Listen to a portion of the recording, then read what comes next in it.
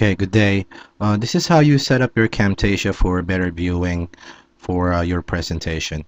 Now, um, now I made some screen captures because uh, I cannot uh, record the actual uh, tools or the options while I'm uh, recording or using Camtasia right now.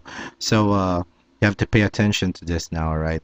Now, on before you set before you start recording I want you to select the screen that Camtasia needs to uh, record.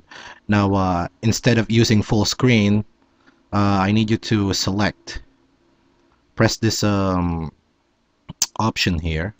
Alright and then after that you will uh, you will see a crosshair a red crosshair that you need to drag around in order for you to uh, select the uh, Camtasia or the uh, selected dimension that you need to record for your Camtasia.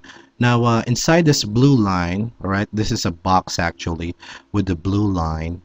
Um, that is what uh, Camtasia, once you uh, select a particular uh, side or part, that is what Camtasia will record and not the whole or not the whole screen of your desktop.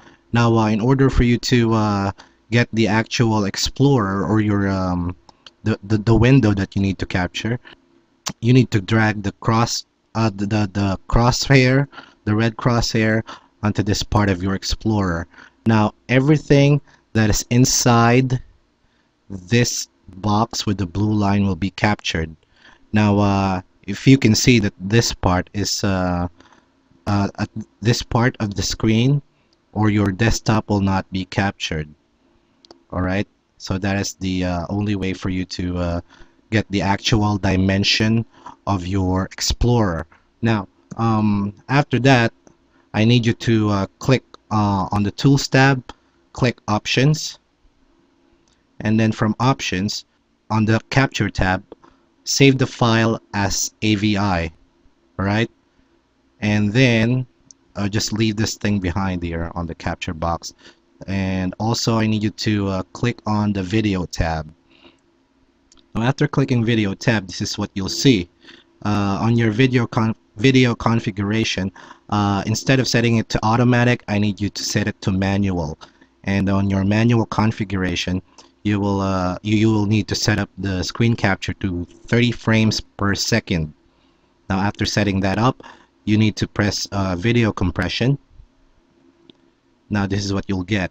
On your video compression setup uh, always remember that you need to set it on the compressor TechSmith capture uh, screen capture codec sorry. And then after that after setting that up you need to uh, choose configure. And this is what you'll get. Now uh, I need you to drag this bar here to better compression right? And then press afterwards uh, you need to set up the effects or uh, what I, what we call the highlight for the for the cursor. Now you need to go to effects and then click on options. Now um, and then after that you click on the cursor tab. On your cursor just use the actual cursor that you have. On the, the highlight cursor because this is set to opaque I need you to click on the translucent. So uh, the uh, yellow highlight will be uh, this yellow highlight that I have here will be um, visible on your video presentation. And then you're on your um, highlight uh, mouse clicks uh, you can actually set this up to different colors but I would suggest that red and blue would be much better. Now every time that you click left you will see a uh, red ring uh, red rings I'm sorry. And then every time you click right you will see um, the blue rings. Now after that press OK and yep that's just about it and then after after that you can start recording your Camtasia with a better uh, dimension and also with the uh, cursor that you need to use for your presentation. Uh, now if you have any questions feel free to ask me alright